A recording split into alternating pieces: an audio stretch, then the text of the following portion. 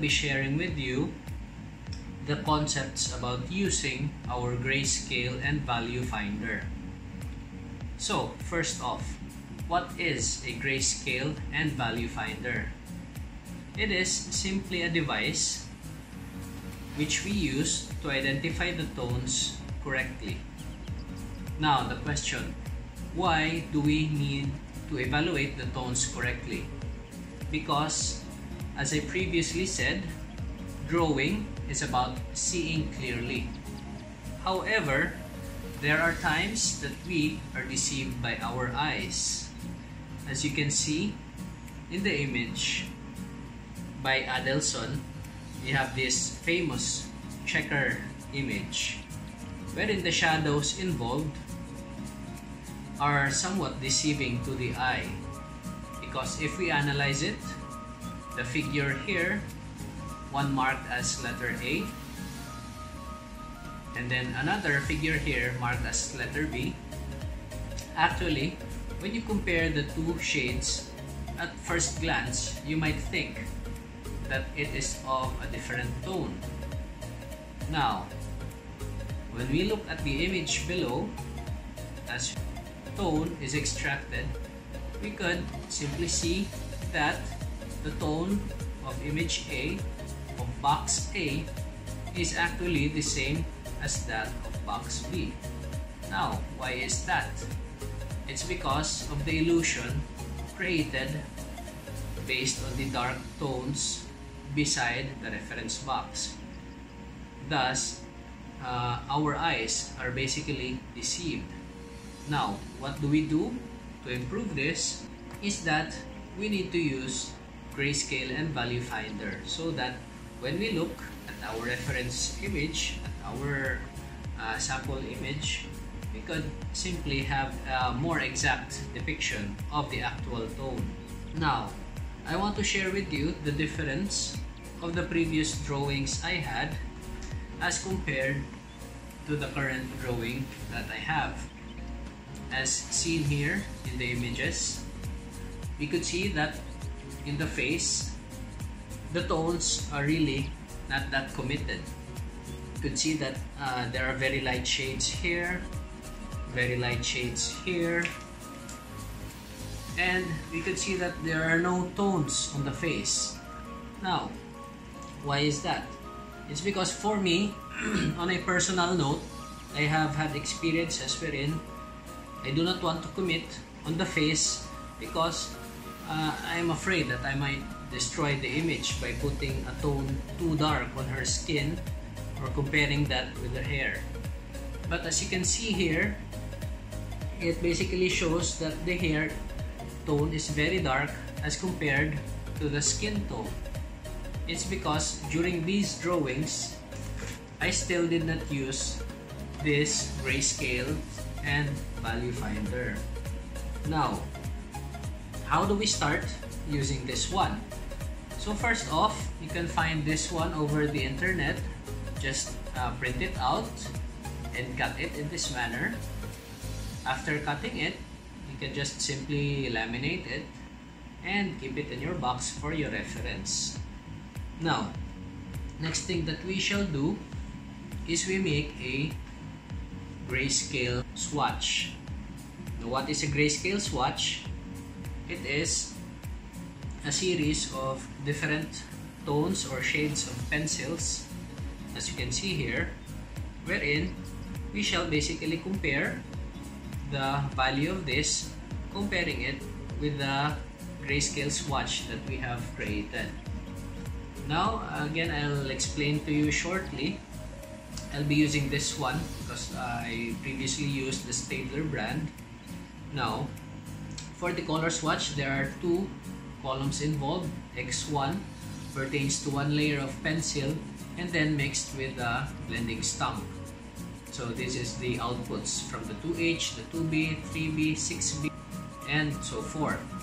Now for the X2, this pertains to the two times of uh, layering of pencils wherein after the first layer, after doing the first mixing of the blending stump, you add another a layer of pencil or graphite to that existing layer and you mix it again with your blending stump. Thus we have arrived with a two-layer set which seems to be of a darker tone as compared to that of the single layer. Now, after doing the swatch, I have already created this swatch previously. Now, we need to compare the actual values of the grayscale finder and compare it with the uh, shades of gray with our grayscale swatch. So, I'll show you how to compare it. First off, this white, this value 10 pertains to the perfect white. So, we can never compare it with our shades. Now, value 9 is somewhat uh, that of a light, the lightest shade of gray. Now, from this one, we need to compare this with our tones here. So let's start off with our 2H single layer. So you basically put your grayscale and value finder there and you squint your eyes. So what is squinting? It's basically doing your eyes half open and seeing the image more clearly in terms of the tone. As you can see here, the value 9, the one on the grayscale finder, is that of a lighter shade compared to this one. So, you move on to the next value finder. Now, here we can see in value 8, uh, value 8 pertains to the printout here. Value 8, squinting your eyes again and comparing it with this one you can already see that the tones are somewhat in between the 2H, the single layer of 2H, and that of the double layer of 2H. So here we can see that the double layer of 2H is darker than this one. So we move on to the lighter shade and we could see that the tone in value 8 is much darker than that of the tone of 2H single layer. So thus, that's the reason why I have marked here 2H times 1 and 2H times 2. Meaning to say, the shade in between this pertains to a single layer of 2H, which is this one. And also, for the bottom part, uh, it pertains to the 2H times 2. It's because my shades between value 8 and value 7 are in between that of the two layers of 2H, this one. You can see it's a lighter one, but comparing it with the value 7, value 7 is already very dark comparing it with the two layers of 2H. That's why I, I made the boundary here.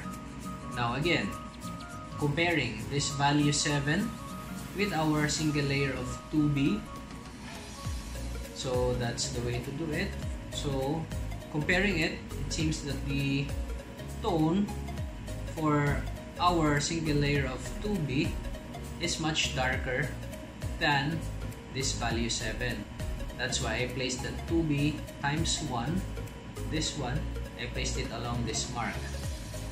Now, comparing this value 7 with our 2B times 2, we can simply see that 2b times 2 is already very dark comparing it with this value 7 hue. So, we can therefore conclude that the 2b, the two layers of 2b is already much on the darker side. That's why I have marked it here in my grayscale and value finder. Now, we move on to the next shade, value 6 we try to evaluate as to what grade of color swatch will match your current grayscale and value finder. So that's the way to do it. Compare it with the colors, uh, the shades. So again, for this one, we used 3B. So comparing it here, can see uh, by squinting your eyes again, you can see that the tones are very very similar in that manner. So this is a single layer of 3B. So this value 6, I already evaluated it as to be a single layer of 3B. Now, moving so on and so forth with our grayscale swatch, I already came up with the figures of that. So this value 6 pertains to 3B uh, times 2, meaning to say 3B 2 layers. Now here value 4 pertains to 5B single layer. So 5B single layer is this one. So you compare at comparing the two, you're gonna get a similar figure. So the end state of this, once you have already marked your grayscale and value finder, you use that as a reference to your drawings already. So that when you do the skin tone, you can evaluate example.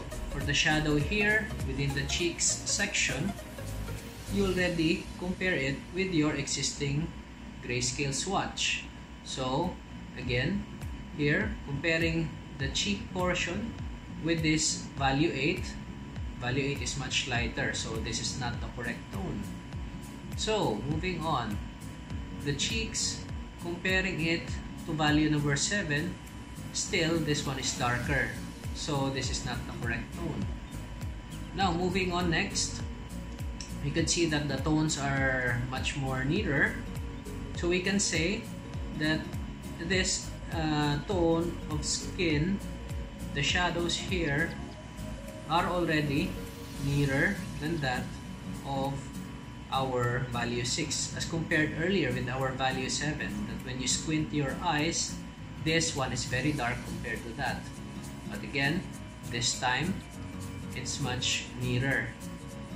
Uh, again we try to do it with our value 5 so here with our value 5 you can already see that the tones are much nearer. So in short, we can try to mark this cheek portion as a value 5 because that's what the grayscale comparison uh, looks like.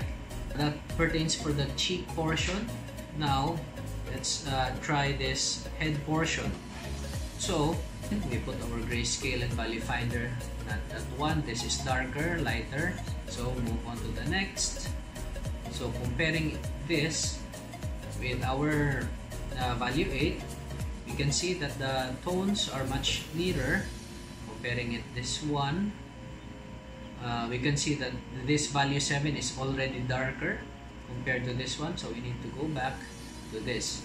So we can see that the forehead section is nearer to that of value 8. That's why I can say that for the lighter shades, we usually do 2H times 2. So what does that mean? We do 2 layers of 2H. So that's the way to evaluate your shades of gray. If you have questions and inquiries, please feel free to comment and don't forget to like and subscribe. Cheers!